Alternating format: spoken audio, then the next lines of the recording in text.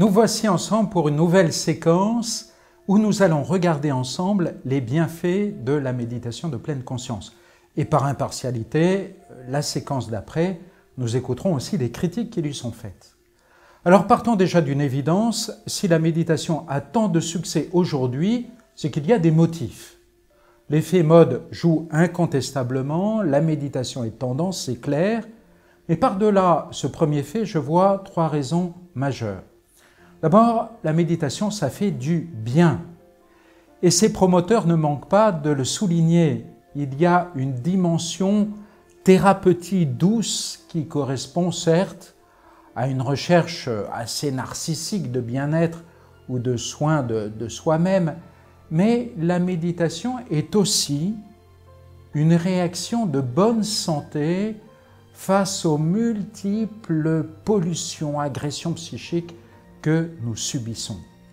Nous souffrons de carences en silence, en lenteur, en intériorité, en sobriété, en écoute, en attention. Alors quel bienfait de s'arrêter, de laisser la tyrannie des écrans, de sentir enfin son corps, son souffle, de faire une pause sans but, sans tâche à réaliser, sans rien à faire sinon d'être là, présent à ceux qui se présentent à nous. La méditation de pleine conscience rééquilibre ainsi nos vies asphyxiées par des rythmes inhumains et on ne peut que s'en réjouir. Qui de nous en effet ne souffre du rythme accéléré de nos vies? Nous avons trop souvent l'impression d'être happés par une tornade de ne plus nous appartenir, de devoir courir parce que tout le monde court autour de nous. La méditation est aussi une réaction au consumérisme qui génère tant d'insatisfaction et d'addiction.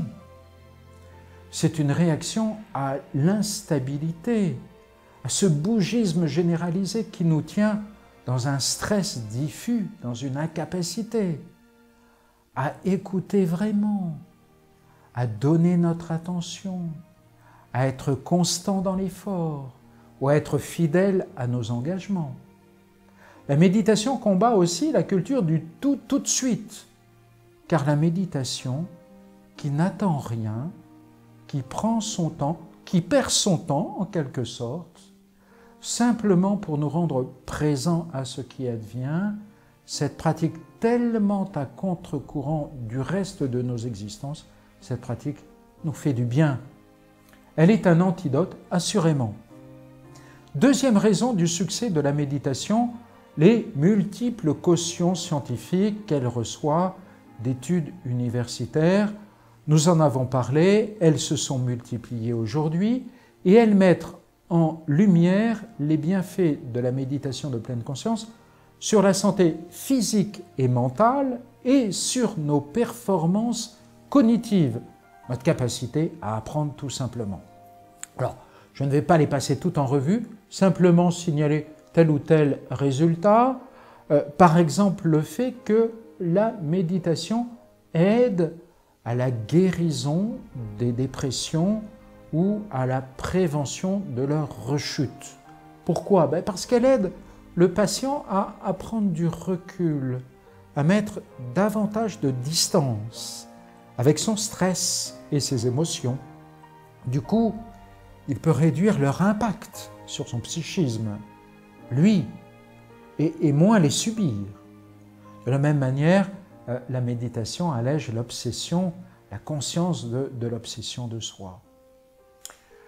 Je passe sur euh, beaucoup d'autres bienfaits de type médicaux qu'on peut trouver facilement dans beaucoup d'études pour passer à la troisième raison du succès de la méditation.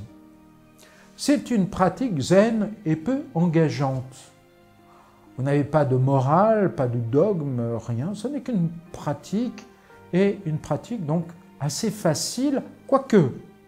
Quoique, si la méthode de fait est facile, il faut compter tout de même 7-8 euh, semaines à raison de 10 minutes par jour pour s'y initier sérieusement. Ce n'est pas rien.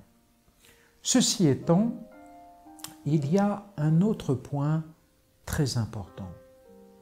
c'est que la méditation peut exprimer une quête spirituelle qui commence ou qui s'approfondit avec la découverte ou la redécouverte de notre intériorité et de la valeur du silence. Mieux que cela, la méditation enseigne à accueillir tout ce qui se présente à nous dans un état de disponibilité maximale, sans rien filtrer, sans rien rejeter a priori. Eh bien, pourquoi Dieu n'en profiterait-il pas pour se présenter lui aussi à un cœur rendu ainsi tellement accueillant? La méditation ne pourrait-elle pas devenir le lieu d'une authentique expérience spirituelle? C'est un point important et qui oblige à accueillir ses pratiquants avec beaucoup de sympathie et de bienveillance et d'intérêt. Fabrice Midal, un, des grands auteurs de la méditation de pleine conscience, l'observe très justement, je le cite, Si tant de gens se consacrent aujourd'hui à la méditation, n'est-ce pas pour retrouver la vraie source où il est possible de se désaltérer sans fin? Ils sentent qu'il existe une expérience d'ouverture profonde, un amour qui dépasse les limites habituelles, un sens d'harmonie indiscutable qui nous fait éprouver la justesse de nos existences. Nous faisons l'expérience, l'expérience d'une joie profonde. Nous faisons l'épreuve, même si c'est de manière fugitive, d'un amour inconcevable. Vous voyez dans cette citation, euh, pour un chrétien, ce qui est euh, nommé ou justement évoqué anonymement, pour nous prend un nom, le nom de Dieu. Donc la liste est déjà longue des bienfaits de la méditation. Je voudrais juste terminer par un dernier point que j'emprunte à Pascalide, le père Pascalide, qui a des pages très lumineuses. Voici ce qu'il dit d'une expérience typique de pleine conscience. Notre monde intérieur est traversé en permanence par des flux d'émotions, de pensées, d'interprétations ou d'impulsions, c'est-à-dire d'incitations à agir. Ces incitations nous sont tellement intérieures que nous croyons qu'elles naissent de notre liberté. En fait, elles ressemblent à notre liberté, mais elles ne sont pas notre liberté. Elles insistent en nous, elles veulent s'imposer avec un caractère d'urgence, d'urgence. Tu dois absolument fumer cette cigarette, sinon tu seras malheureux. Allez, dépêche-toi. En fait, ces ordres ne sont que des incitations, des inclinations à agir, et non des obligations. L'illusion de leur nécessité vient simplement de notre habitude à leur céder, à capituler devant elles mais il est possible de leur résister si nous demeurons simplement à considérer l'incitation comme si nous étions des observateurs extérieurs en train de regarder la vie de notre esprit.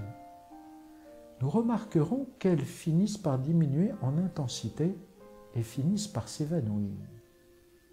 Telle la pensée ou l'émotion, l'inclination passe, s'efface sans trace. Faisons l'expérience.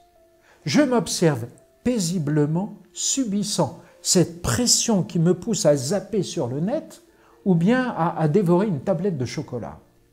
Elle veut me faire croire qu'il m'arrivera une grande tristesse si je ne lui obéis pas. Eh bien, chiche, faisons l'expérience et regardons ce qui se passe. Magnifique, j'ai pu résister j'ai grandi en liberté intérieure.